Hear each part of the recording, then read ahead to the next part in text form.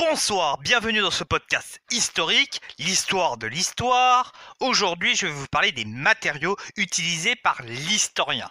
Ce qui va nous permettre de savoir sur quoi se base le travail historique très important parce que comme toute science, il y a des preuves, des faits et je vais vous décrire donc quels sont ces faits, quelles sont ces preuves matérielles, hein, ces sources qui permettent à l'historien de faire son travail. Donc déjà quelques questions de vocables. Euh, sous l'Ancien Régime, au XVIIe siècle, XVIIIe siècle, on parle plus de monuments que de documents. Hein. Pas que des pierres, mais toutes les traces de ce qui n'est plus. Voilà ce qu'est un monument à l'époque. Hein. C'est dans les années 1820 que l'appellation monument euh, va un petit peu changer. Par exemple, dans ces années-là, va y avoir l'invention des monuments historiques, par exemple, qui protège la pierre en France. En Allemagne, MGA, Monumenta Germanica Historica. Hmm. voilà. On a un terme qui a remplacé le terme monument, c'est encore le mot source. Mais c'est un assez mauvais terme, parce qu'inconsciemment, on a un sens de pureté. Hein. la source est quelque chose de pur, la source de l'eau et tout. Hein.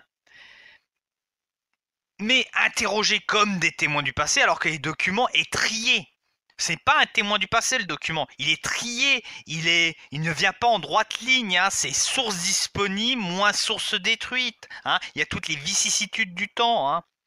Puis l'objet est filtré, rangé. Par exemple, si c'est un document d'archives, d'archives, de, l'archive de, de l'État de romain, par exemple. Bah, ce document a été rangé dans une administration, puis cette administration, quand l'Empire romain a explosé, a disparu et donc a connu des vicissitudes, dirons-nous. Hein. Il y a la destruction aussi, il y a des documents qui ont été détruits. Hein. Et d'autres bah, qui ont été restitués. Il y a des manuscrits, par exemple, qui ont été recopiés parce qu'on jugeait que c'était utile, et d'autres qu'on n'a pas recopiés parce qu'on jugeait pas que c'était utile. Mais quand l'original est mort, ben, t'es un petit peu comme un con. Maintenant que j'ai mis en place les vocables, pour savoir de quoi on parle, je vais aussi vous parler des archives, très important avant de vous parler des sources en tant que telles. Alors jusqu'à la Révolution française de 1789, les archives n'étaient pas constituées pour les historiens, mais conservées pour la gestion administrative et le gouvernement des territoires. Hein. C'est le cas au Moyen Âge, les moines constituent des chartes, hein, parce que chaque document est à titre de propriété.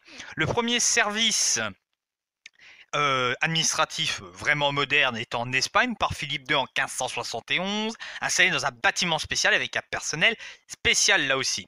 1749, euh, l'impératrice Marie-Thérèse, hein, archive impériale. Hein. Alors ça regroupe les archives des Habsbourg, de la cour et les archives de l'État. Euh, la révolution de 1789 avec une rupture, hein, modèle fait à Paris, modèle parisien qui va se répandre dans toute l'Europe napoléonienne. Hein. Il y a des aspects négatifs avec des destructions sur Robespierre, avec la destruction des titres féodaux par exemple. Hein. Pour éviter que ce système réapparaisse, euh, il y a des destructions voulues par les gouvernements et aussi des destructions plus spontanées que la Grande Peur. Hein. Avant, les archives étaient privées et appartenaient au roi. Maintenant, ça devient une propriété de la nation. Il y a une rupture négative en certains points avec la destruction des archives féodales, mais positive car c'est nationalisé. Hein. c'est encadré par la loi euh, du 7 Messidor en deux. Hein.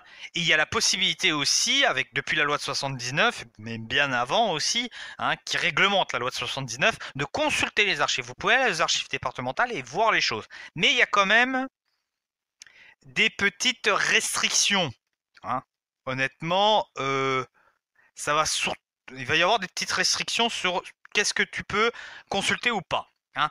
Mais les archives vont quand même devenir un outil d'élaboration de la mémoire nationale. En octobre 1796, une loi crée les archives départementales. La Côte d'Or est très riche, la capitale d'État au Moyen Âge. Hein. Euh, il y a quand même un beau paquet de documents. Donc oui, la loi de 79 parle des délais de communicabilité et la protection des droits de la vie privée. Ça va de 50 à 75 ans après la mort de la personne pour certains documents, 50 euh, ans à compter euh, de la date du document sur un jugement de valeur ou plus récemment sur les dossiers d'appréciation sur une personne physique. Pareil pour les pupilles.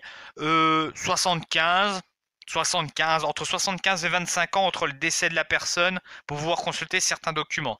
Par exemple, mon grand-père qui nous a quittés en 1994, en 2019, je peux consulter certaines archives le concernant. Et encore, je pense qu'il y a des petites restrictions Donc voilà, tout ce qui est secret et défense, c'est 50 ans.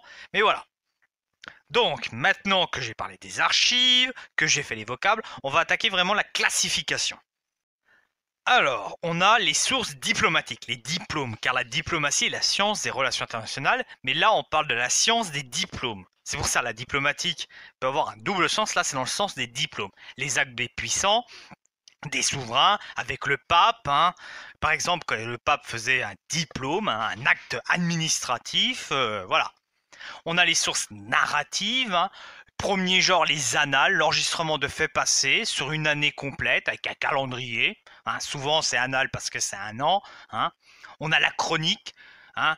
registre lié à Eusèbe de César, Ré, du IVe siècle, qui écrit une histoire ecclésiastique. Voilà, c'est des chroniques sur la vie de quelqu'un. Il y a la biographie, genre inaugurée avec la vie des saints, par exemple, et la correspondance très présente pour Grégoire le Grand. Par exemple, le pape a envoyé énormément de courriers. On a les actes pratiques concernant les documents le plus souvent en rapport avec les personnes privées, hein, la vie économique, l'histoire économique, les actes notariés, très importants. Hein. parce que ça permet, par exemple, un acte notarié d'une euh, décision pour une succession permet de savoir bah, quelle personne avait quoi, euh, à tel nombre et tout ça. Hein. Donc voilà. On a aussi tout ce qui est acte de justice ce qui permet d'en apprendre beaucoup, même si quand tu es interrogé devant les juges, tu dis pas totalement la vérité, tu dis surtout des choses pour te sauver les fesses. On a aussi de nouveaux documents, par exemple les recensements, qui sont vraiment fiables euh, à partir de la deuxième partie du 19e siècle. Vraiment, ça peut être très intéressant d'étudier le recensement qu'il y a dans tous les pays. Hein. Euh, au départ, c'était religieux. Hein. De Villars-Cotterêts euh, ordonne que chaque euh, curé note dans un registre les baptêmes. En 1579, l'ordonnance de Blois impose aussi pour les funérailles. Et en 1667, on demande de créer un double. Donc, en gros, le curé, il te marque quand tu as été baptisé, quand tu as été enterré. Donc, ça permet à peu près de savoir combien de temps tu as vécu et le nombre de personnes. Même si ça pose problème, parce que jusqu'en 1667, pas de double. Donc, si c'est perdu, bah, c'est fini. Et aussi, euh, quid des protestants, quid des juifs, euh, quid de ceux qui ont été exclus. On a aussi tous les documents qui sont liés donc à l'activité économique, euh, tout ce qui est la fiscalité par exemple. Très intéressant. Qui paye quoi et à quelle proportion?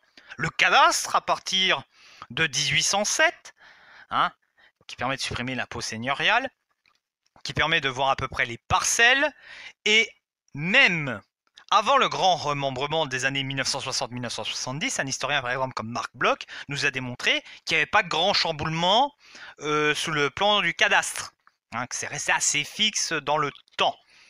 Donc voilà, on a déjà tout ça. On a les registres de commerce qui, qui peuvent être très intéressants, ce qu'ont acheté les gens et combien ils ont payé.